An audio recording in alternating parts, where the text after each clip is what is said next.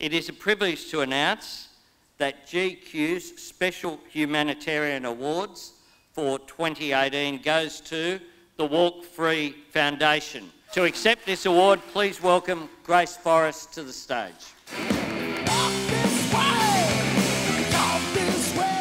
Thank you very much. Thanks, Hot Elbow, really appreciate it. It is an honour to be here tonight to collect this award, and I would like to accept it on behalf of the Walk Free Foundation and the man who co-founded it with me, my dad and mentor, Andrew Forrest.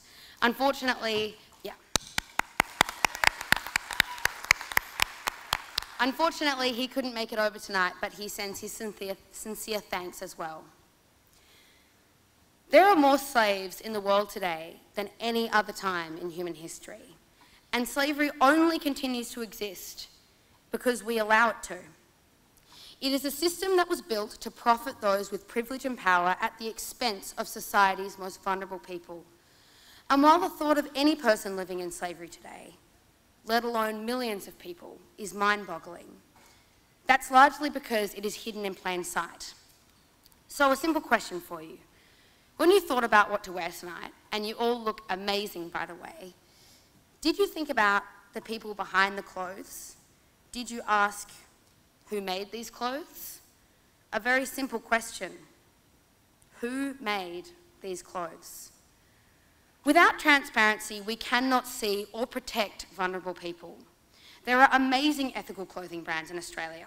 Bianca Spender, who I'm wearing tonight, and others like Kit X, Ginger and Smart, and Outland Denim, However, sadly, their commitment to ethical procurement is not felt widely throughout the fashion industry. Ethical shouldn't be a choice. It should be the basic standard. It should be the rule, not the exception. Over 40 million people living in slavery throughout the world is an overwhelming prospect.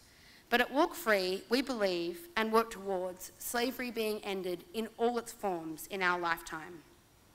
We address slavery on the ground with the Freedom Fund and look to fundamentally dismantle the drivers that allow slavery to continue, such as conflict, exploitative business practices, and gender inequality. A shocking 71% of all modern day slaves are women and girls.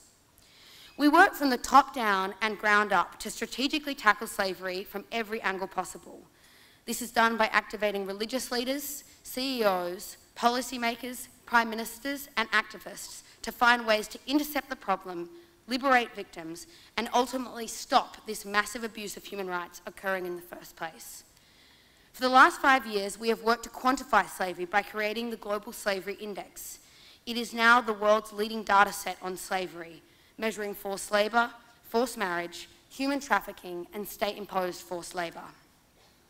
But we need everyone to be a part of the solution. Slavery is wrapped up in so many of the world's greatest challenges.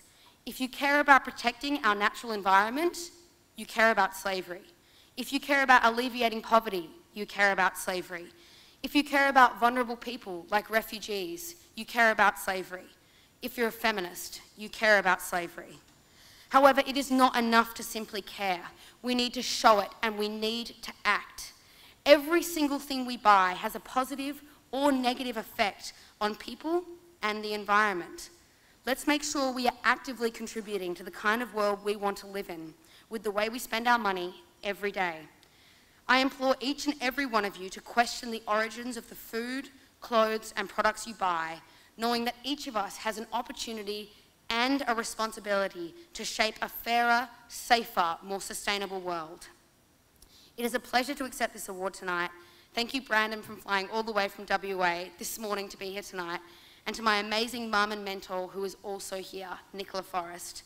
And finally, thank you to GQ for getting behind and backing this critical issue.